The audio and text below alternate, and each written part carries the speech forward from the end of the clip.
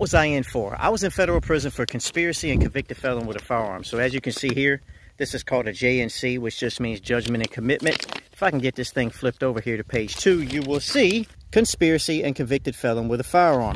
Now that conspiracy is what you call a 371 generic conspiracy. It just means it can be applied to anything. In my case, it was applied to a check fraud operation. Basically, we were going from state to state. We had check and account numbers.